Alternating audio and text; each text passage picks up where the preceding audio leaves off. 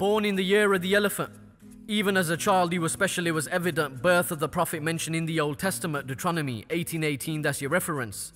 Perfectly proportioned, the most handsome, most elegant. Impeccable character, the most humble and intelligent. Compassionate, considerate in speech, he's most eloquent even before he was a prophet. He was a man of great eminence. He's ranked number one in Michael Hart's book, Most Influential. Please refer to the books Hadith if you need to check his credentials. His message is worshipping Allah alone is essential, and the Quran and his teachings make up all our fundamentals. On the day of judgment, we rely on Allah's mercy and His intercession. His words, pearls of wisdom, teaching us valuable lessons. Liberator women's rights, he was against all oppression. The English language can't do justice, forgive me for my indiscretions. His face is more radiant than the full moon, and his sweat smelt better than the most expensive perfume. The light that shone bright like the sun shines at noon need to follow his example if you want to be al-muttaqun. He came to an illiterate nation out of time of desperation. He was a real revolutionary who ruled by revelation. Seal of the Prophet's tuition, peace and salutations testifies the messenger of Allah before our daily congregations. When the Arabs worshipped fire and idols, he took them out of Jahiliyyah. Those were the real dark ages until people started to see clear. He faced so many hardships, but still he'd persevere, and his dawah is the reason why you see me standing here. Even his enemies knew him as a Sadiq al Amin. They tried to assassinate his character when he spread the message of Tawheed. He invited everybody to Sirat al Mustaqim, but most rejected his message and they didn't take heed. Every step you take was for Allah and His deen. Allah split the moon for the Quraysh, yet they still didn't believe. In fact, they tortured the believers. What a horrid sight it must have been. But imagine the status in Jannah of the earliest Shaheed. They called him a liar, a soothsayer, a madman, and a magician. They couldn't swallow their pride and let go of their traditions, offered him power, wealth, and women to stop spreading their religion. But he said, Even if you offer me the sun and the moon, I won't accept your proposition. They threw animal intestines on the Prophet.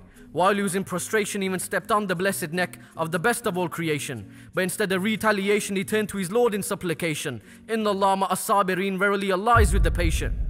He was boycotted, insulted, treated like an outcast, but through the pain and the struggle, he still remained steadfast. He's a mercy to mankind, even says in the Quran. Surah Al-Anbiya, verse 107. He even led the Anbiya in Salah before he ascended above the heavens. When he went to preach in Taif, yet they pelted him with stones. He had blood-soaked shoes and he was bruised down to the bone. Jibreel salam descended, said, Give me the command.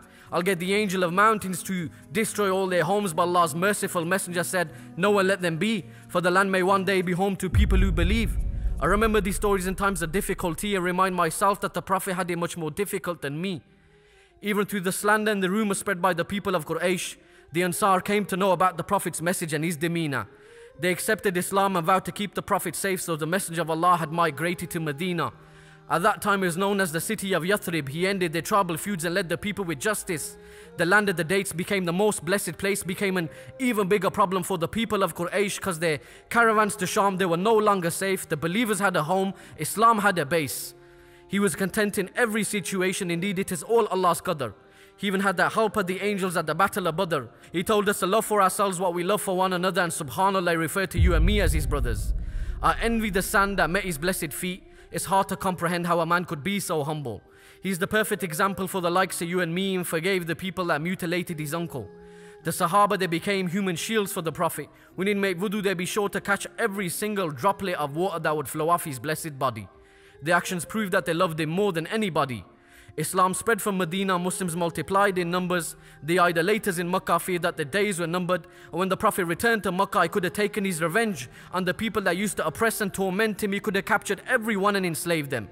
He was in a position of power, surrounded by thousands of brave men, but what he did next left the people in amazement. Rahmatullah he turned around and forgave them. The best leader, the best father, the best husband, the best person. Imagine how I must have felt to witness the last sermon. Imagine you were there and you had to lend an attentive ear and you had to hear that the Messenger of Allah may not be with you the next year. Indeed, the greatest calamities when he departed this dunya. We show our love for the beloved by following his sunnah. Inshallah, on the day of judgment, we get to drink from his blessed hand. 21st century role model. He's not just your average 7th century man. May Allah reunite us with him in Jannah and save us all from the fire of Jahannam. We love him more than our own selves. Muhammad sallallahu alayhi wasallam.